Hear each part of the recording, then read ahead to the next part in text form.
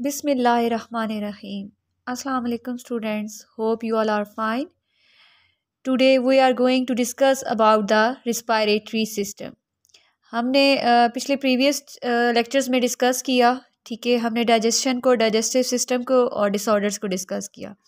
आज हम लोग डिस्कस करेंगे वो रिस्पायरेटरी सिस्टम के बारे में डिस्कस करेंगे। जैसा कि हमें पता होता है कि हम लोग जो लिविंग थिंग्स होते हैं, उनको जो है एनर्जी चाहिए होती है, ठीक है? मूव करने के लिए ग्रो करने के लिए, ठीक है? अब वो जो एनर्जी होती है, उसको हम लोग ऐसे ही नहीं ले सकते, उसी फॉर्म में नहीं ले सकते। हम उसको ब्रेक करते हैं, ठीक है? तो और फिर वहाँ से हम लोग उस फ़ूड उस फ़ूड को यूज़ करते हुए क्या करते हैं? मूव करते हैं ग्रो करते हैं, ठीक है? एक्सरसाइज करते हैं तो ये हमारे लिए डेली लाइफ में इंपॉर्टेंट होती है। अब यहाँ पे हमने रिस्पायरेटरी सिस्टम को डिटेल में डिस्कस करने से पहले हमें इन दोनों का डिफरेंस पता होना चाहिए ब्रीथिंग और रिस्पायरेशन का पता होना चाहिए। अब ब्रीथिंग सबसे पहले देखते हैं कि ब्रीथिंग क्या होती है? ब्रीथिंग में क्या होता है कि हमारे जो ऑक्सीजन होती है, ठीक है? ऐसा प्रोसेस है जिसमें ऑक्सीजन जो है, वो क्या करेगी? मूव करेगी लंग्स के अंदर, ठीक है? ऑक्सीजन कहाँ, क्या करेगी? मूव्स के करेगी लंग के अंदर, जबकि कार्बन डाइऑक्साइड है, वो क्या करेगी? लंग से आउट मूव करेगी। ठीक है? तो इस प्रोसेस को हम लोग क्या बोलते हैं? ब्रीथिंग बोलते हैं। ठीक है? अब इसके बाद हमारे पास आती है रिस्पायरेशन। ठीक है? अब रिस्पायरेशन क्या है? कि रिस्पायरेशन, इसको हम लोग कैसे कह सकते हैं कि ये एनर्जी प्रोड्यूसिंग प्रोसेस है। ठीक है? कौन सा प्रोसेस है? एनर्जी प्रोड्यूसिंग प्रोसेस अब ये एनर्जी प्रोड्यूस कैसे होती है? ठीक है? ये एनर्जी कैसे प्रोड्यूस होती है कि आप जो ऑक्सीजन इनहेल कर रहे हो, वो क्या करती है? फ़ूड के साथ कंबाइन करती है और इसके रिज़ल्ट में हमारे पास क्या बनती है? एक एनर्जी और साथ हम प्रोड्यूस होती है कार्बन डाई ऑक्साइड इस प्रोसेस को हम लोग क्या बोलेंगे? रिस्पायरेशन ठीक है? एनर्जी प्रोड्यूसिंग प्रोसेस को क्या बोलेंगे? रिस्पायरेशन ये सारा इससे रिलेटेड हो गया. देन रिस्पायरेटरी सिस्टम जैसा कि हम लोगों ने डाइजेस्टिव सिस्टम में डिस्कस किया कि जितने पार्ट्स बॉडी के हैं बॉडी के अंदर जितने पार्ट्स हैं, जब वो ब्रीथिंग में हेल्प करते हैं तो वो कौन सा सिस्टम बनाते हैं? रिस्पायरेटरी सिस्टम ठीक है डाइजेशन में क्या कर रहे थे? जो डाइजेशन में हेल्प कर रहे थे वो डाइजेस्टिव सिस्टम और जो रिस्पायरेटरी सिस्टम में ब्रीथिंग में हेल्प कर रहे हैं पार्ट वो कौन सा सिस्टम बनाते हैं? रिस्पायरेटरी सिस्टम नेक्स्ट हम लोग डिस्कस करने जा रहे हैं पार्ट्स ऑफ़ रिस्पायरेटरी सिस्टम ठीक है कि कौन कौन से आ, हमारी बॉडी के अंदर जो पार्ट्स हैं जो कि ब्रीथिंग में हेल्प कर रहे हैं रिस्पायरेटरी सिस्टम को बना रहे हैं. फर्स्टली हमारे पास आता है नोज़ देन पास करती है एयर हमारे larynx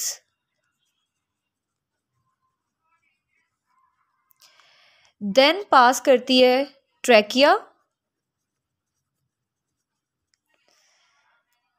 then bronchi then bronchioles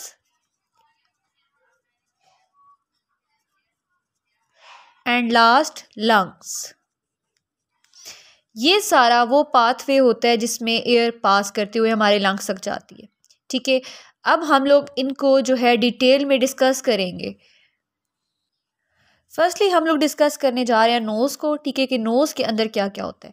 ठीक है? आपको पता है जब एयर हमारे नोज़ के अंदर इंटर करेगी, दो पाथवे होते हैं। यहाँ तो वो माउथ से भी इंटर करती है और यहाँ नोज़ से भी इंटर करती है। लेकिन यहाँ पे जो हम लोग डिस्कस करेंगे वो क्या होगा?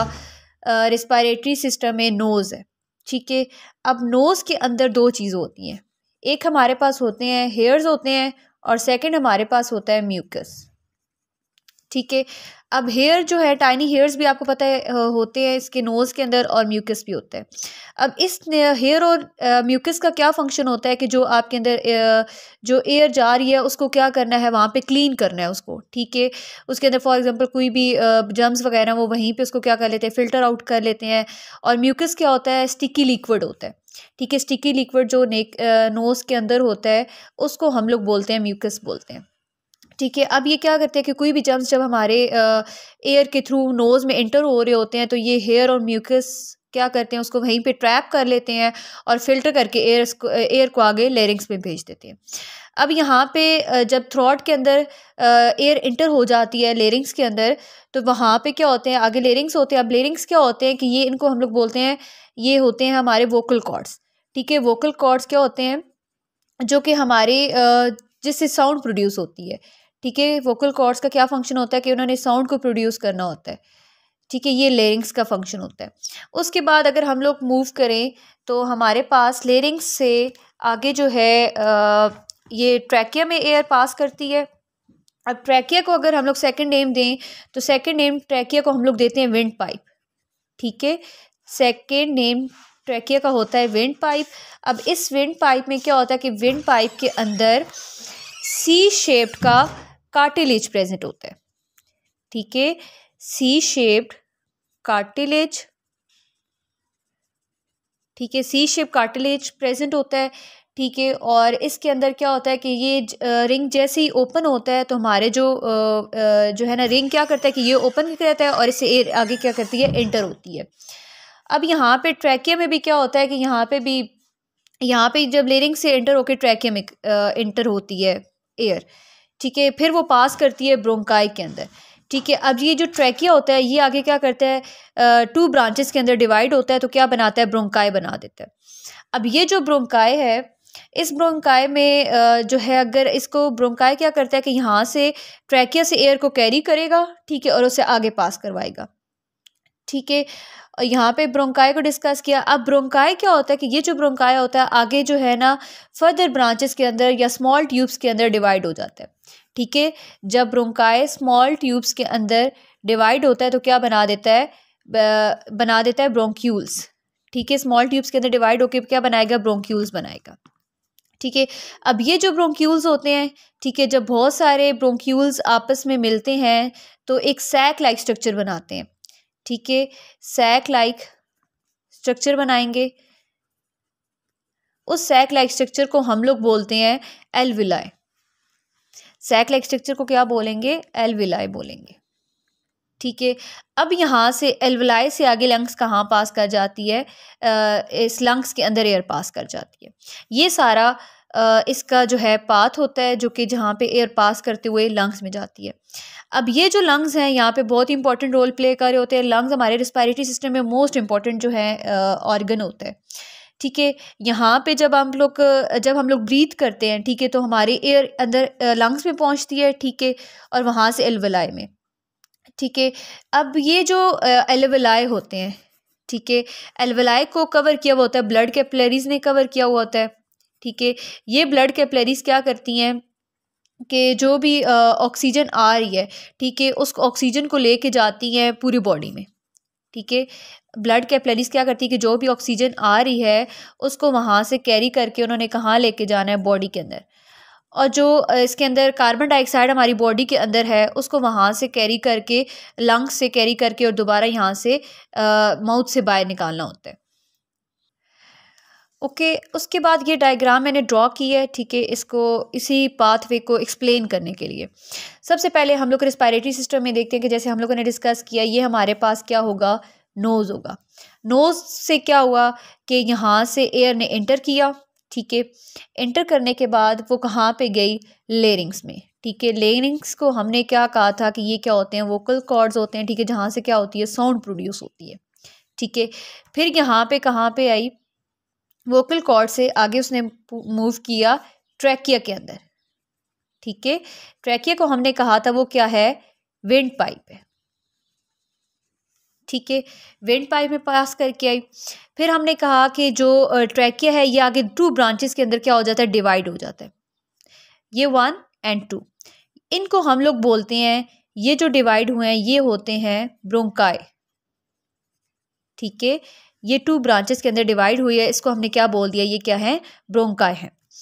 अब ये जो ब्रोंकाय है, ठीक है, ये आगे फर्दर क्या करता है? स्मॉल ट्यूब्स के अंदर डिवाइड हो गए ठीक है? लेफ़्ट लेफ़्ट लंग्स में भी और राइट लंग में भी। दोनों साइड पे क्या हुआ है कि जो ब्रोंकाय है, वो डिवाइड हो गया स्मॉल ट्यूब्स के अंदर आगे। तो इन स्मॉल ट्यूब्स को हम लोग बोलते हैं, ये हमारे पास क्या आ जाते हैं? ब्रोंकियोल्स आ जाते हैं। ठीक है? अब ये ब्रोंकियोल्स के एंड पे हर ब्रोंक्यूल्स के एंड पे क्या होता है कि सैक लाइक स्ट्रक्चर होता है, ठीक है टाइनी सैक्स लाइक स्ट्रक्चर होता है, जिसको हम लोग बोलते हैं, ये क्या है? एलविलाई ठीक है? यहाँ से ये जो एंड पे होते हैं, इसको हम लोग यहाँ पे क्या बोलते हैं? ये क्या होते हैं? एलविलाई अब इस एलविलाई को बहुत सारी ब्लड कैपलरीज ने क्या किया हुआ होता है? सराउंड किया हुआ होता है। ठीक है? ब्लड कैपलरीज ने सराउंड किया हुआ होता है और ये हमारे पास क्या आ जाते हैं? ये लंग्स हैं हमारे ये सारा क्या है? उसका रिस्पायरेटरी सिस्टम की डायग्राम डायग्राम है। Firstly nose then larynx then trachea then bronchi bronchioles alveoli and lungs ये सारा एयर जो है ये पाथ यूज़ करती है लंग्स के अंदर मूव करने के लिए। और यहीं से क्या होती है? कार्बन डाइऑक्साइड यहाँ से एक्जेल होती है। नेक्स्ट हम लोग डिस्कस करने जा रहे हैं डिज़ीज़ ऑफ़ रिस्पायरेटरी सिस्टम जिस तरह हमने डिसऑर्डर्स ऑफ़ डाइजेस्टिव सिस्टम को डिस्कस किया, इसी तरह डिज़ीज़ ऑफ़ रिस्पायरेटरी सिस्टम भी है। अगर इसी तरह कोई रिस्पायरेटरी सिस्टम के अंदर अगर कोई थोड़ी सी ख़राबी पैदा हो जाती है तो उसकी वजह से कौन कौन से डिसऑर्डर्स हो सकते हैं हमारी बॉडी के अंदर? ठीक है, इनमें कौन कौन से हो सकते हैं? फ़र्स्ट हमारे पास आता है कॉमन कोल्ड ठीक है? और सेकंड हमारे पास निमोनिया वगैरह होता है, ठीक है? और हमारे पास जो लंग कैंसर है, ये सारे जो है, इसके डिसऑर्डर्स होते हैं रिस्पायरेटरी सिस्टम के। जो हम लोग फर्स्टली डिस्कस करेंगे, वो हमारे पास है कॉमन कोल्ड ठीक है? कॉमन कोल्ड बहुत ही ज़्यादा जो है ये कॉमन डिसऑर्डर है, ठीक है? और इसके बाद क्या होता है कि इसमें क्या होता है कि जित, इसका जो वायरस होता है, ठीक है कॉमन को कॉमन कोल्ड का जो वायरस होता है, वो क्या करता है कि एक पर्सन से दूसरे पर्सन तक ये वेरी करता है स्प्रेड करता है, ठीक है। अब वो स्प्रेड कैसे करता है कि अगर आप लोग फॉर एग्ज़ाम्पल स्नीजिंग कर रहे हो, ठीक है, छींके वगैरह आपको आ रही हैं या कफिंग वगैरह कर रहे हो, ठीक है तो इसकी वजह से ये बहुत ज़्यादा जो है ना कॉमन कोल्ड का जो वायरस होता है, वो स्प्रेड करता है, ठीक है, और पर्सन टू पर्सन जो है स्प्रेड करता जाता है। अब इसके सिम्टम्स हम लोग देखते हैं कि इसके सिम्टम्स में क्या क्या आ जाता है, ठीक है? इसका फ़र्स्ट सिम्टम हमारे पास आता है सोर थ्रॉट ठीक है? सोर थ्रॉट का क्या मतलब होता है कि गला का जो है ना, ख़राब हो जाना। सेकंड हमारे पास है कफ़ कफ़ क्या होती है? खांसी, ठीक है? उसके बाद रनिंग नोज़ ठीक है? रनिंग नोज़ में क्या होता है कि हर वक्त जो है ना ज़ुकाम वगैरह फ्लू वगैरह की जो है वो रहना, ठीक है? उसके बाद स्नीजिंग स्नीजिंग क्या है हमारे पास? छींक वगैरह आना, ठीक है, और हेडेक हेडेक वगैरह हेडेक मतलब कि सर दर्द, ये सारे इसके क्या आ जाते हैं? इसके सिम्टम्स आ जाते हैं कॉमन कोल्ड के। ठीक है? उसके बाद हमारे पास इसके लिए कोई प्रॉपर मेडिसन नहीं है, इसका ट्रीटमेंट नहीं है कॉमन कोल्ड के लिए, ठीक है? इसको हम लोग कैसे ट्रीटमेंट इसका कैसे कर सकते हैं कि आप ज़्यादा से ज़्यादा रेस्ट वगैरह करें, ठीक है? और ज़्यादा से ज़्यादा लिक्विड चीज़ को इस्तेमाल करें वाटर को इस्तेमाल करें, ठीक है? और अगर इसके सिम्टम्स फिर भी अगर ये ठीक नहीं हो रहा तो फिर आप क्या करें? डॉक्टर से जो है डॉक्टर अगर आपको कोई प्रिस्क्राइब करता है मेडिसन तो फिर वो यूज़ करें। उसके बाद हमारे पास निमोनिया आता है। निमोनिया, ये किसका इन्फेक्शन है? हमारे इन्फेक्शन करता है इन्फेक्शन है लंग्स का। ठीक है? लंग्स के अंदर हमारे कोई अगर इन्फेक्शन हो जाता है तो निमोनिया वगैरह कॉज होता है। ठीक है? अब जैसा कि हमने यहाँ पे डिस्कस किया था पीछे के रिस्पायरेटरी सिस्टम के अंदर कि एलवलाई होते हैं। ठीक है? ये एलवलाई एलवलाई के अंदर क्या होता है? जब इस एलवलाई के अंदर जो कि एयर ग्रेव्स लाइक स्ट्रक्चर है, ठीक है? सैक्स लाइक स्ट्रक्चर है इसके अंदर जब क्या होता है पस भर जाती है ठीक है? जब ये एलवलाई के स्ट्रक्चर के अंदर आ, क्या हो जाती है पस आ जाती है तो हमारे पास कौन सी डिज़ीज़ कॉज होती है? निमोनिया कॉज होता है ठीक है? तो हम लोग लिख सकते हैं कि पस किसके अंदर फिल हो जाए अगर एलवलाई के अंदर तो तब ये निमोनिया वगैरह होता है ठीक है? और हमारे लिए फिर जो है ब्रीथिंग करना क्या होता है डिफ़िकल्ट हो जाता है। अब निमोनिया जो है, ये बहुत ज़्यादा जो है चिल्ड्रंस के अंदर बहुत ज़्यादा कॉमन होता है, ठीक है, और उनकी डेथ की भी यही मेन कॉज होती है। अब इसके सिम्टम्स को हम लोग चेक करें तो इसके सिम्टम्स में हमारे पास सबसे पहले आता है कफ़, ठीक है, कफ़ खांसी वगैरह हो जाना, फीवर, बुखार वगैरह, उसके बाद रैपिड ब्रीथिंग रैपिड ब्रीथिंग का क्या मतलब कि बहुत तेज़ तेज़ से सांस लेना, ठीक है रैपिड ब्रीथिंग के साथ क्या करना वीजिंग साउंड आना। ठीक है खरखराट सी आना। जब आप लोग सांस ले रहे होते हैं तो उसके अंदर खर खर की आवाज़ आना। तो ये वीजिंग साउंड होती है। उसके अलावा चेस्ट पेन ठीक है सीने में दर्द होना ठीक है loss of appetite loss of appetite का मतलब है कि भूख का ना लगना ठीक है? तो ये सारे क्या होते हैं? सिम्टम्स होते हैं किसको कॉज करते हैं? निमोनिया को करते हैं ठीक है? ये सिम्टम्स हमें अलामत इन अलामत से पता चलता है कि निमोनिया की जो है आ, इसको हुई डिज़ीज़ ये कॉज हुई है। अब इसको हम लोग कैसे ट्रीटमेंट कर सकते हैं कि आप लोग अगर निमोनिया का अगर आपको लग रहा है तो इसके लिए एंटीबायोटिक्स होती हैं जो कि डॉक्टर सजेस्ट करते हैं।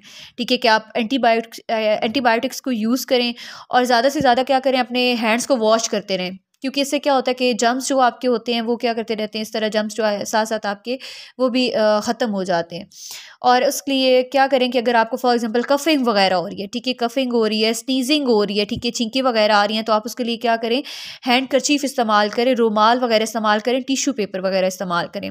तो ये इस तरह ट्रीटमेंट इसका किया जा सकता है निमोनिया का। तो ये दोनों इसके क्या थे डिज़ीज़ थे रिस्पायरेटरी सिस्टम के अंदर। Thank you so much जजाकिल्ला